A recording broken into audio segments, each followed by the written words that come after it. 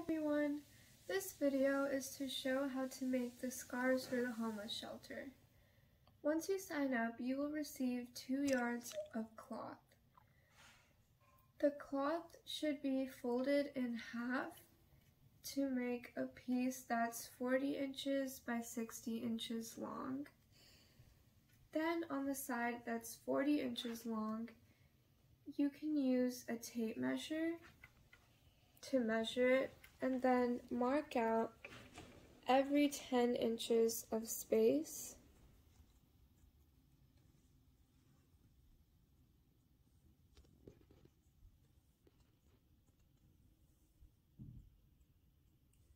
This should give you four marks on this side. The next step is to take a pair of cloth scissors or any scissors and cut all the way down to the other end. This should give you eight long strips of cloth that's 10 inches by 60 inches.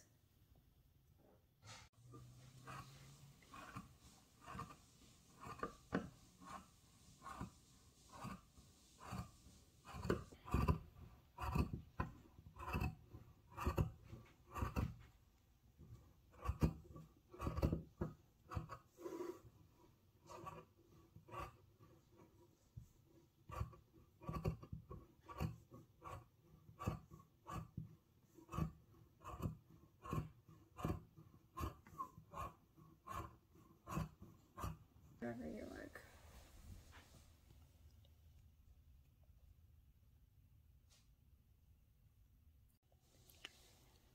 When you cut the cloth, it should look like this, and this measures 10 inches by 60 inches long. Now let's cut the fringe at the edges of the scarves. Now at the edge of the scarf, you can measure with a tape measure four inches up and mark that spot. And the final step is to cut the fringe at both ends of the scarf. So I'll be showing it how to cut it for one end of the scarf.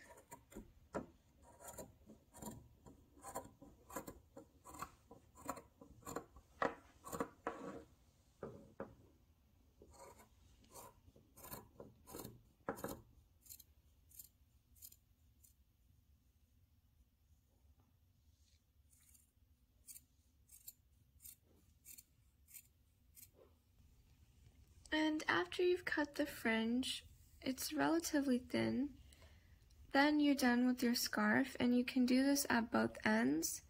And after you've cut the fringe on both ends of all eight scarves, you're done.